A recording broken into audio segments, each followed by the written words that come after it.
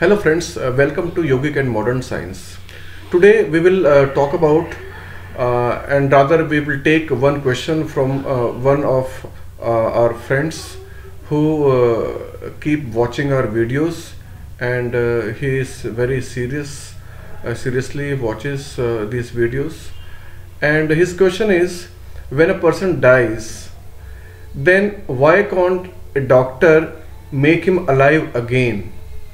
Why a person cannot be, uh, you know, uh, got back into life? So we will talk about uh, this issue, uh, which is very very interesting and uh, very you know serious also. Sharma ji yogic science science के point of view से जब कोई व्यक्ति मर जाता है तो उसको वापस लाइफ में क्यों नहीं लाया जा सकता किसी डॉक्टर के द्वारा या किसी के द्वारा भी वो वापस नहीं आ सकता उसको ज़िंदा नहीं किया जा सकता ऐसी क्या चीज़ है मरने में कि वापस नहीं हो सकता वो? हमारे योग विज्ञान में अध्यात्म के अंतर्गत ये जो तीन हम पहले फार्मूले लेके बताए थे कि जीवात्मा और आत्मा और परमात्मा। मतलब जीवात्मा उसके ऐसी एक स्थिति है जहाँ पे जीवात्मा की चतुर्भुज चत, चार भुजाओं वाली है, जिसकी एक भुजा में जो थोड़ा सा स्टेप तीन परसेंट उसमें रिक्त है वो रिक्त में जो लिक्विड है, वो धीरे धीरे धीरे धीरे फूलती है, और जाकर के वो उसमें अपनी बाहरी, जो उसकी एक बाउंड्री लाइन है, वो अपने आकार में जाके चिपकती है। तो जो जब वो पास में उसके बिल्कुल पहुँच जाती है तो वो वहाँ पे एक झटके के साथ जाती है। ऐसा लगता है जैसे वहाँ कोई चुंबकीय सिस्टम काम कर रहा हो। और वो वहाँ पे जाने के बाद जब चिपकी रहती है थोड़ी देर तक तो उसके बाद में उसके अंदर खिंचाव पैदा होता है, जो लिक्विड है, उसमें खिंचाव पैदा होता है। पहले फूलती है तो वहाँ जाती है जो जो सिकुड़ती है, सिकुड़न होती है तो खिंचाव पैदा होता है, जिससे कि वो लिक्विड वापस आने के लिए प्रयास करता है, मगर वो किसी चुंबकीय सिस्टम की वजह से वहाँ चिपका हुआ रहता है। मगर थोड़ा आ भी जाता है, खिंच, खिंचका, खिंचा हुआ थोड़ा दिखाई देता है कि ये खिंचा हुआ है। मगर खिंचने के बाद जब वो उस अपने रेंज से बाहर निकलता तो एक झटके में जो है अपनी पूर्व स्थिति में वो आ जाता है। तो जब वो पूर्व स्थिति में आ जाता है वो पुनः धीरे धीरे जा कर के अब डेवलप करता है फिर फूलता है फिर हो जाता है। ये प्रक्रिया एक उसके जीव आत्मा में अ, के अंतर्गत अं, अंदर में चल रही है। ये वाली प्रक्रिया चल रही है। और ये जो जीव आत्माएँ हैं ये जो प्राकृतिक जिसे आप कहते हो जिसे हम पर आत्मा कहते हैं ये अंडे में इसी प्रकार के बहुत सारे छोटे छोटे जीव हैं और जो उसके दूसरा एक अंडा बना रहा जिसे हम परमात्मा कहते हैं तो वो जो ऊपर स्थिति है वो ये चीज़ वहाँ निर्माण की प्रक्रिया है। तो निर्माण की प्रक्रिया एक अलग चीज़ है और उसका मूल की प्रक्रिया एक अलग चीज़ है। तो मूल में प्रक्रिया में जो चीज़ हो रही है, वो वहाँ पर अगर वापस आ गई है कोई चीज़ मतलब निर्माण हम जब करते हैं, उसे धीरे धीरे जाता है और जब वो निर्माण को हम परमात्मा एक ऊपर रुकता है तो निर्माण रुक जाता है और निर्माण रुक जाता है तो उसके बाद में वो झटका खा के अपनी पूर्व स्थिति में आ जाता है, बहुत तेज़ी से आता है। तो जब निर्माण हमारा धीरे धीरे हुआ है और जब उसका खत, खात्मा या उसको परिवर्तन आता है, तब वो एकदम झटके में हो जाता है। तो ये एक प्रक्रिया है। तो ये इस प्रक्रिया में अगर हम पुनः देखें कि इसको किसी भी जीव को जो मर गया है, जिसकी एक चीज़ रुक गई है, और रुक गई है उसे अगर हम पुनः जीवित करें तो किसी परमात्मा की जो दो निर्माण कर रहे हैं, उनमें वहाँ पर जाना होगा, और वहाँ जाने होने के बाद में जब ये पुनः जा रहा है तो उस प्रक्रिया के दौरान में वो परमात्मा अपनी शक्ति उसमें ही डालेगा शक्ति उसमें मतलब समाहित करेगा और समाहित करके इसकी तो शक्ति अपनी है मगर उसके शक्ति में समाहित करके फिर उसके दूसरे के शरीर में उसी शरीर में कोई दूसरे की प्रक्रिया डाली जा सकती है। जो चेतन प्रक्रिया है दूसरी डाली जा सकती है जिससे वो पुनः चेतन हो सकता है वो वो शरीर। मगर एक बार वो शरीर उस पोजीशन में ही आएगा। ऐसी जब जिस वक्त वो सिकुड़ रहा है, उस वक्त ये प्रक्रिया डालना संभव नहीं है।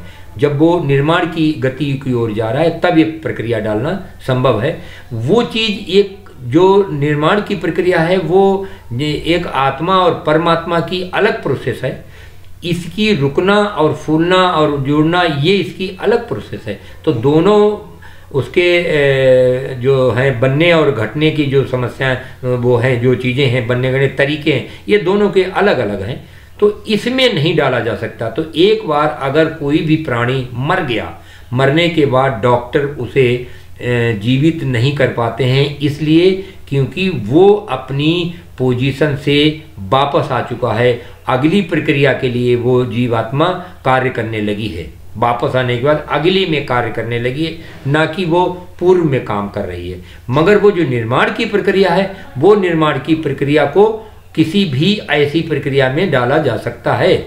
तो वहाँ पर जीवित करना, चाहे वो आप वेंटिलेटर पे रख लो चाहे आप किसी की दूसरे की आत्मा प्रवेश करा लो वो परमात्मा की प्रक्रिया है। ये जो जीवात्मा है ये वाला शरीर ये स्टॉप हो चुका है परमात्मा वहाँ स्टॉप हो गया है। यहाँ उसने प्रक्रिया अपनी पूरी कर ली है इसलिए ये प्रक्रिया पूरी हो गई है। तो पुनः डेवलप पे निर्माण के लिए पुनः वो चल पड़ा है। तो वो स्थिति से काफ़ी आगे आ गए हैं। तो वो स्थिति बहुत पीछे छूट गई है। वो स्थिति को पकड़ पाना संभव नहीं है। इसलिए किसी भी शरीर को पुनः जीवित करना डॉक्टर के बस की बात नहीं है।